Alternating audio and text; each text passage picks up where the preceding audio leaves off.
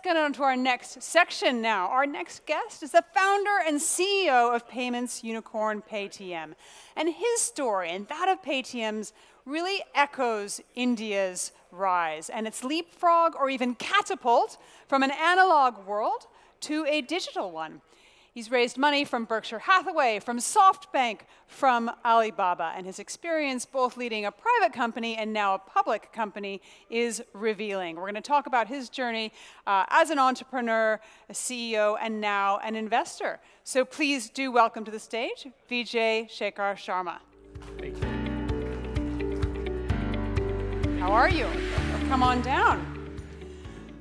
Welcome. Wow. How's the, it going? The, the last uh, comment made by. What do you think about that? I, I, I think uh, the large digital monopolies are here to be sorted out by the emerging nations. Else, we will never come up to the occasion and rise up to the occasion. Mm. I'm very proud to say this that as India, we have come up to the terms that there is an obligation to use the technology built by big ones, but there is also not an obligation to give in to that. So what do, you think they what do you think a country like India should do as a result of that? Should um, your own Google? What should you do? No, uh, this is this is you don't require the same thing to be built by another your domestic player.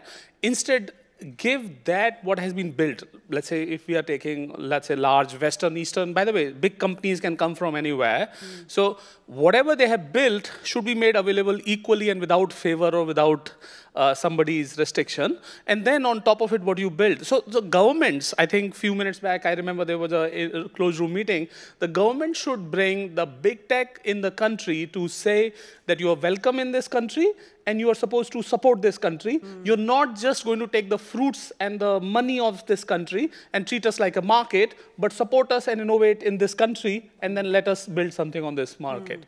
I think India is a model. The classic model, sir, talked about digital public infrastructure is actually the best model because commercial organizations, in my opinion, one or other day, whosoever leads on the top could go not necessarily in the correct direction as a country's good goes. Hmm. So DPI infrastructure. Yay. India model. right. So we're going to make sure we get the audience involved here in this one. So if we've got some questions from our esteemed colleagues here, please do get them ready. Can I say so one more thing? The, the, the audiences are in very, very cool space, like temperature-wise. This is pretty warm here. so well, let's start with some, some recent good news for you. Um, analysts last month I saw, saw were making very positive noises. Jefferies says expects you'll soon turn a profit. Uh, Paytm should rank among the world's most profitable fintech firms. And I should say, Paytm started originally as 197 in mm. uh, a phone directory 2001. 10 years later, Paytm. Yep 2011. You listed in 2021, so it sounds like every once a decade, big changes. Yeah. Uh, now five years, because I think 2025 will not be the same as 2021. Okay. Hashtag AI. okay. Uh, largest digital bank in India, largest fintech. Goldman Sachs has said you're on the right side of disruption, dominant payments platform, a head start in these digital credit products. So what are you going to do to keep the analysts happy? What do you got uh, planned? First of all, I don't have to keep analysts happy. I have to keep my customers happy and my country proud of us. That's rule number one. And the sequencing is country, community, company, individual. No, no secret about it.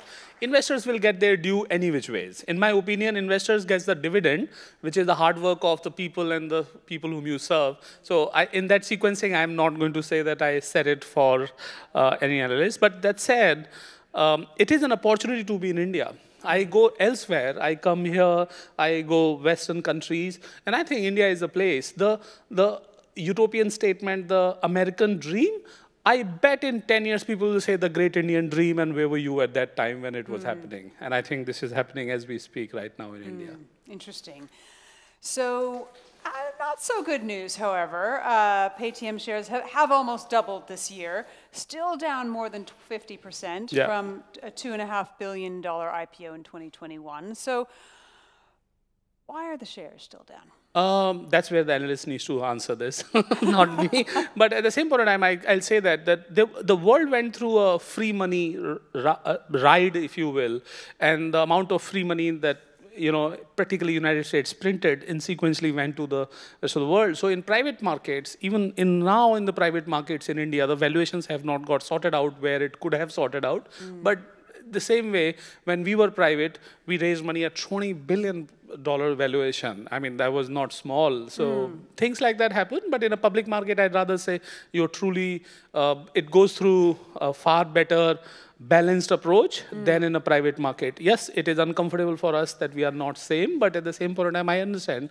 that public markets take time to understand the company.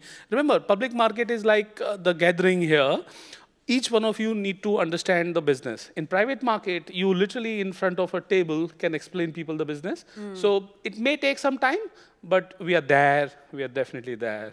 We're definitely there. So uh, just on that though, what lessons can you share with other founders who might be in the room about, about when you plan an IPO? You plan an IPO when your business potential sort of has got discovered. You know what your business model will be, and you have profits or your profits are in sight. I'm not necessarily going to say that you should be profitable day one or when you're going in public, but I must say that it should not be very, very far away mm. uh, because public markets, like we just now talking about, are going through a phase. In fact, investment is going through a phase. The 2010s to 20 was free money run, if you will, because of the practically US printing dollars for mm. free. And now the interest rates in US itself is going to see tons of bankruptcies in US, tons of domino effects are happening in the rest of the world. So I'm not sure whether next five years the market is going to get better than, I mean, we may think that it is because of some war, war A, war B, or some other reason. In my opinion, it is a fundamental shift that has come, that there is a interest hike that is going to cost. So if you are in a public market, you should be conscious about that you may not get the multiples that you used to get in private, mm. and you rather want to be far more stronger on your business model than you could have been in earlier days. So let's talk about your outlook for what you think for the next couple of years. When I hmm. was uh, in Saudi Arabia at FII, listening to the head of Goldman Sachs, the CEO of uh, CEOs of, of Citi, BlackRock, Blackstone, Macquarie Bank, they were all sounding pretty grim about the general economic outlook for, for the world. War in Ukraine, conflict in Gaza, Israel, adding real notes of caution in terms of risk taking. Yep, that's what's, right. your, what's your take? So I, I, look at it from a technology entrepreneur's head. So we need risk capital, and then we need uh, growth capital. So risk capital is what is available to OpenAI and ChatGPT. Companies are crazy valued. Even right now, if you are a good AI startup, couple of hundred million is out there waiting for you. Because just like everything happens, uh, in terms of late market, the innovation market still thrives on. Mm. So in other words, if you build another fintech or another commerce company, maybe you may not get the same valuation or a same money that you could have raised amount, but if you are talking about AI and you have a genuine in invention out there, there is a risk appetite and capital there. But later stage companies, what you said just now, I totally believe. The world is going through a high interest rate. And imagine high interest rate is not a high, small high interest. This is like mm. 6 or 7%, depending on which country are we talking about. That, I think, has a very big global effect. You know, uh, the biggest expenditure for US, every one of us thinks, is defense. Mm for the first time, US will pay more interest on a debt that it has taken than the defense. So you can understand instead of defense industry, the financial industry is bigger, even for if you were serving United States of government, uh, US government. So in other words, the access to capital is definitely, uh, if we did not have COVID effect on the world in health sense at a dramatic potential that it could have had, we definitely have it on financial world. And that domino is going to long, go long, long. Okay. Let's talk about competition. Now, you have thrived in India. You're also thriving in Japan as well, where you've built a, uh, a really interesting business there.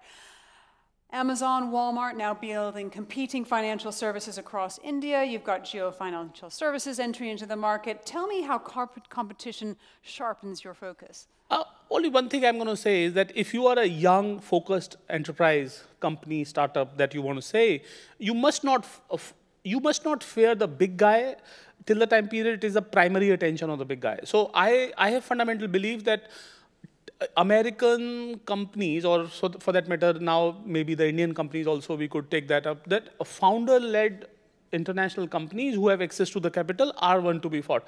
If you're talking about a management-led companies, there is a timeline that these companies stop giving the budget to a exotic Indian project or any geographic uh, India, you could replace that. Mm. So uh, till that, because in the end, the US economy is pretty huge and all these emerging economies, like we just now a few minutes were talking about dirty energy and whatnot thing, ultimately do not make the dent in their needle moving revenues. So competition has to be fought like a, a, clear understanding that your big guy is not going to beat you because they have their own challenges. Mm. And when we are small, we do think that what if, if, what if scenario, what if this, what if that. I think it's clear that they are not doing it and they would not be able to do it. And if money is the answer to your problem, you've not found the answer to your problem yet. I'm a firm believer of that.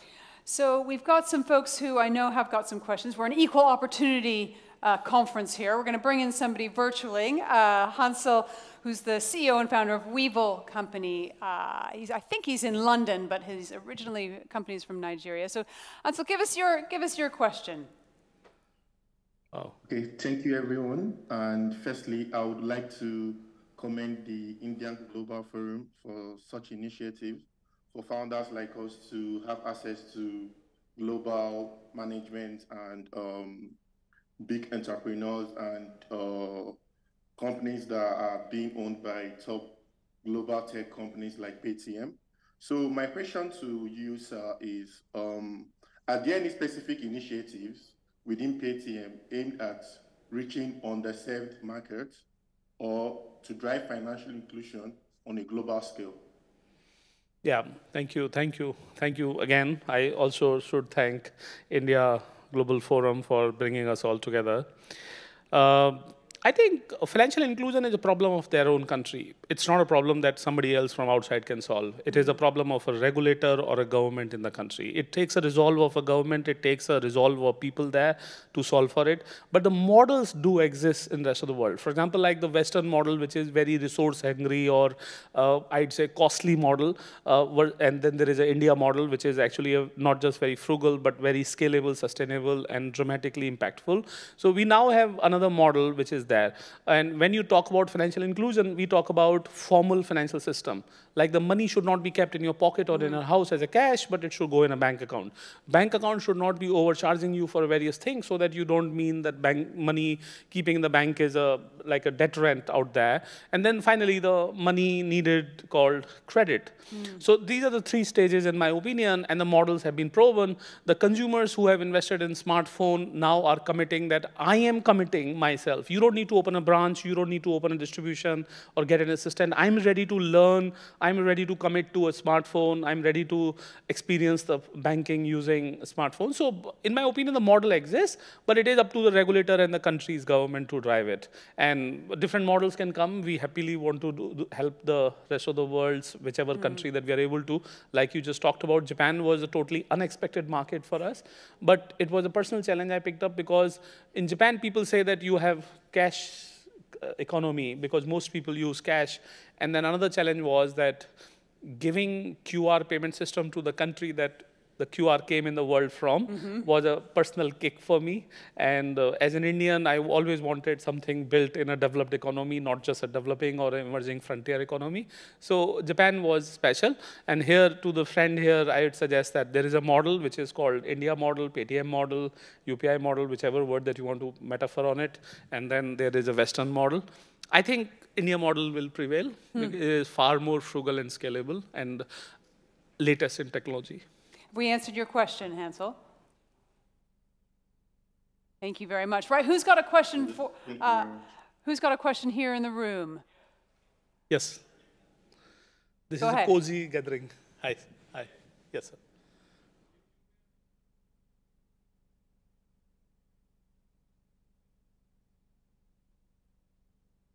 I, I, so I bought a share till the time period my complete equity could not go that I have to make an open offer. If I am allowed to, I'm here to make an open offer. So here it is for 51% owned by. Who else in the room? Yeah, just yeah. here.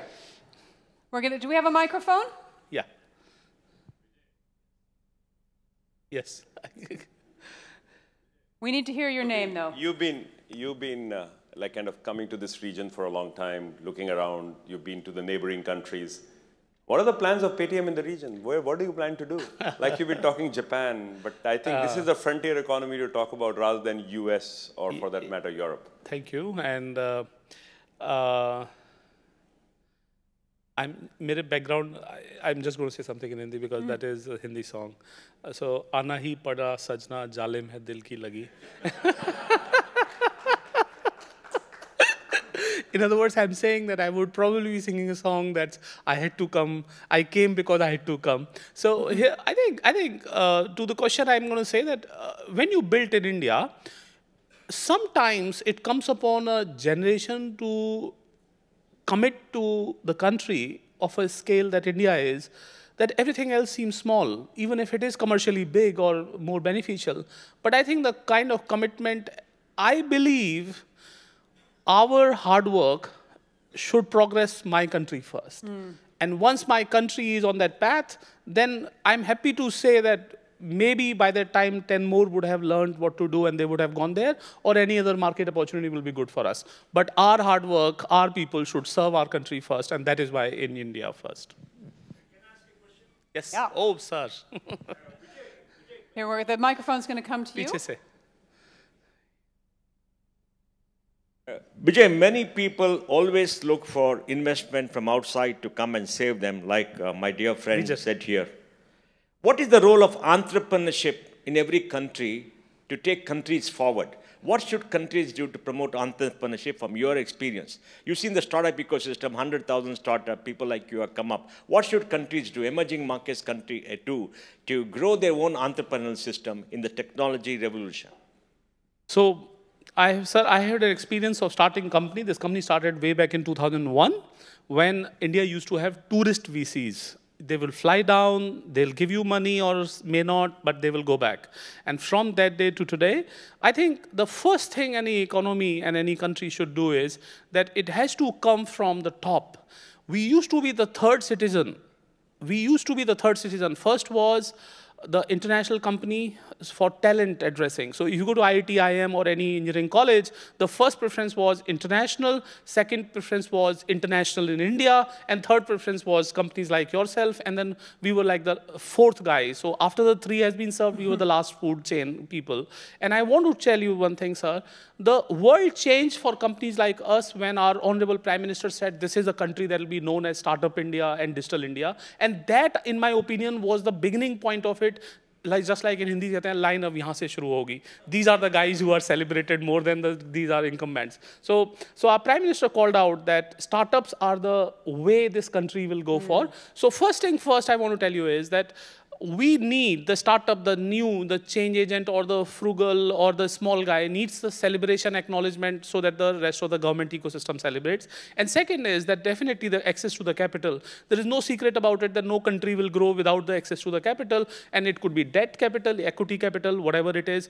Uh, lucky in India, again, that there was lots of foreign direct investment and that was able to come. But ultimately, it is the capital access. I rather prefer a domestic capital access over an international capital access. Second would be that. So government should pave way for support of angel investment, as mm. we call it, in a way that it is tax-free or not penalized for investing in startups. And I think many governments fail on that because of they have to solve for something else. So acknowledging the startup is a way of life, access to the capital if they're to solve. And third, now that point onward, they should go back, meaning just the only two things, access to capital, access to market, because after that, the startup or the mm. economy of these people will solve for itself. So speaking as an investor yourself, you've recently launched a fund that invests in AI, in sustainability, in electric vehicles. What grade do you give India on that? I think I'm here to say that India needs next level of uh, reform in tax or various other government mm -hmm. initiatives for startup investments. Mm -hmm. And it is all because India is a billion people cohort country. Every new incentive that government of India will give, there will be some people who will abuse it. And to stop for abusing of that, every one of us will be accounted for it. So in my opinion, there is a lot that our government has done. And there is no doubt about it, lot can more be done.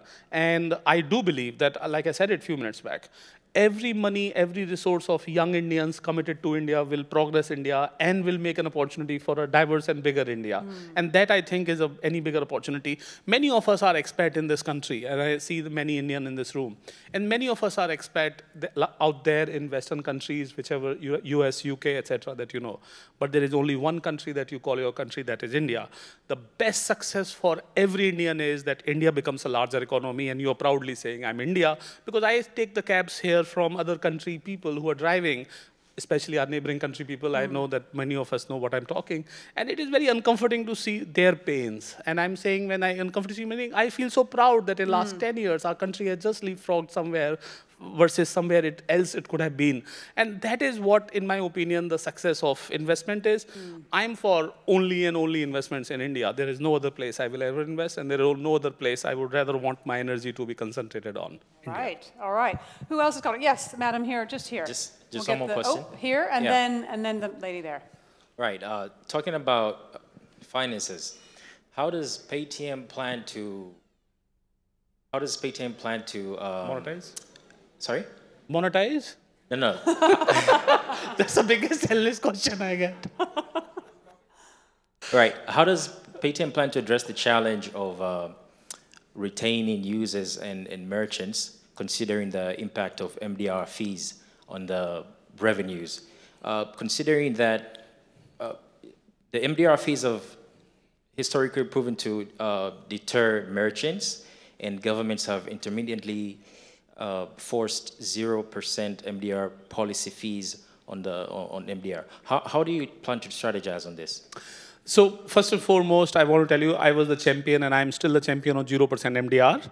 And we put two and a half billion dollar of equity in the market just to sustain that, that the change that you bring is not by penalizing the merchant and it is no more sustainable. So I'm not going to say that till the time period government sustainability could come, it was not viable, but we could show the model 0%.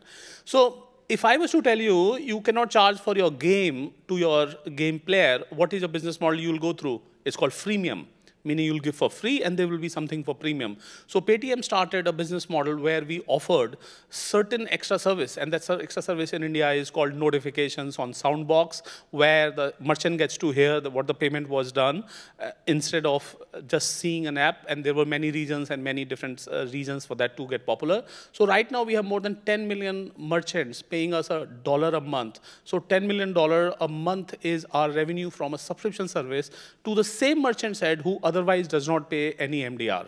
So it's a, it's a classic, I would say, uh, necessity is the mother of invention. If this is the market, you will find a way to go through the market. And freemium is the model for us. And we actually this year, as I speak, are running on a billion dollar plus revenue on a payment plus enabling commerce combination business in India for us, which is just not unheard of for us. So here it is. There is always a model, and it is a freemium and premium model.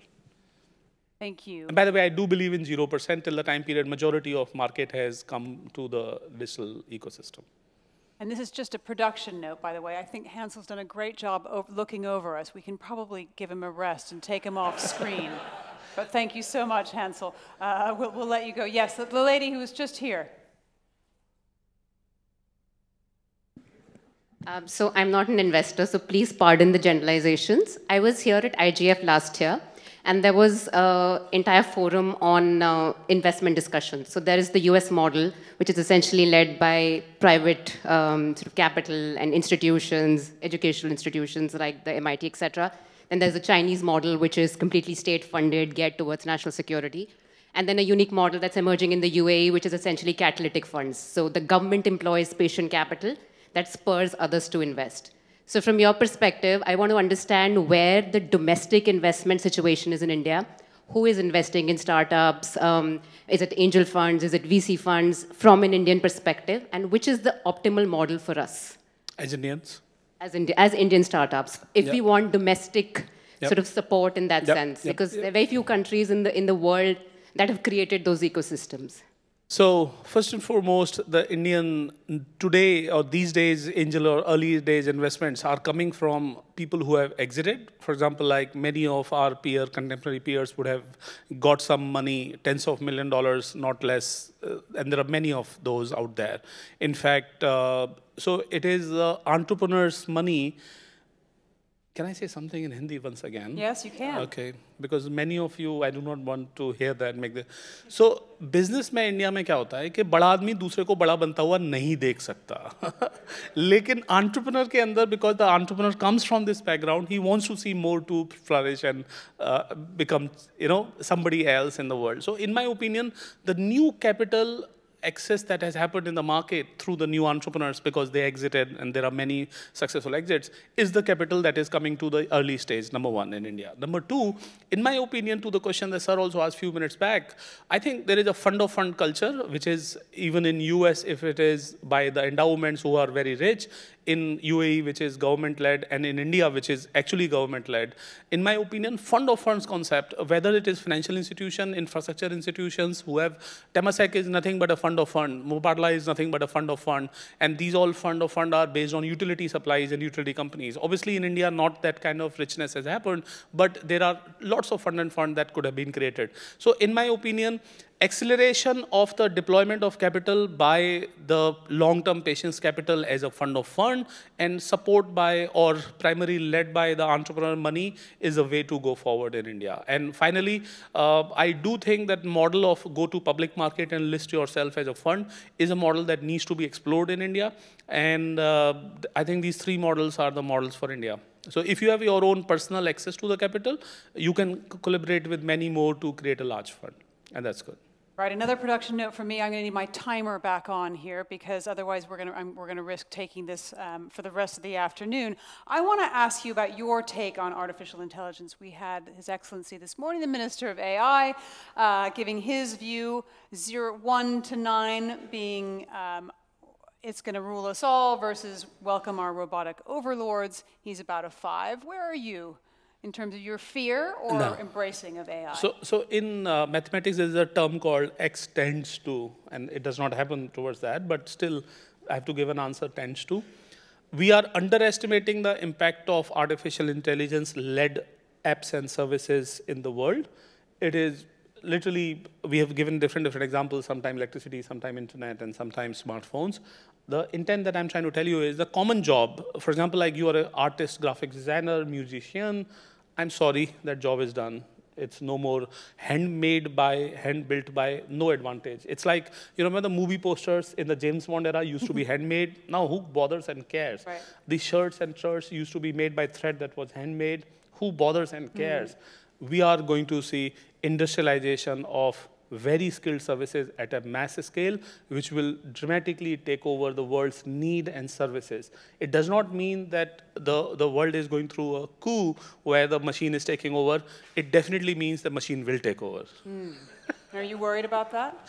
I'm not worried about that because I'm on the other side of the table who will rule the world. uh, I'm, I'm worried about the world who's not accepting that this is going to happen. I'm definitely worried about the world. In other words, I'm going to say that some people, just like we talked about a few minutes back, big tech, imagine the influence that big tech has over the world. Mm -hmm. World's democracies are now at the mercy of a big tech. Big tech can say, your subpoena, your notice of the court is not accepted by me, I'm sorry. And then you can't do anything. You can only do is that you can block the application in the country. Mm -hmm. Or you are not able to make a fair judgment of their offering in your country, like Myanmar did it for one of the large social media company in blue color, that they just gave it to them, that all of the internet is belonging to them, and then you saw the army coup. So my thing is, just like we underestimated the good thing of the big tech happening to the world and we have given in to them and now certain people who are aware are resisting it, we will obligately give in to the ability capabilities of AI in the world and that in a byproduct will definitely take away very, very skillful jobs. Mm. If we last time took a unskilled job, we right now are not talking about that level, we are talking about significant large level. So it is an obligation. People should learn to use their time towards their own uh, certain more productive or useful thing, but same jobs are definitely not there. I run a business of commerce, and I want to share in this room. It's called ONDC, which is a commerce business model that mm -hmm. Government of India is incentivizing. It's run by four people team because everybody writes a code or a graphics by themselves. I mean, the team is not just crossing 20 people because it has some operations people, which should have been in hundreds. And the reason is that the machine is literally uh, like what page should it be, not just what page. I'm going to give you an example, that image and the banner that you make, that this is a click on a fashion products. What image, fashion, etc. It's literally a decision and production and cut out. So I'm sorry, just like handwritten paper, the machine came and the printing was everywhere. It is exactly that stage that is happening. And anybody who's believing this is not happening, I'm sorry for those guys you have to find a way for it. Okay, right. We're going to end this on a lighter note. I want to know what, how do you stand on the three-day work week or the 70-hour work week? I'm an entrepreneur who does not work and who does not uh, go to home. I'm a perpetually working, and there is nothing called work-life balance. In my opinion, a balance is nothing but a bad or good balance. I don't know what is bad, your work or your life. All right, ladies and gentlemen, let's give them a huge round of applause applause. Thank you so much. Thank, Thank you. you, very Thank much. You Thank you.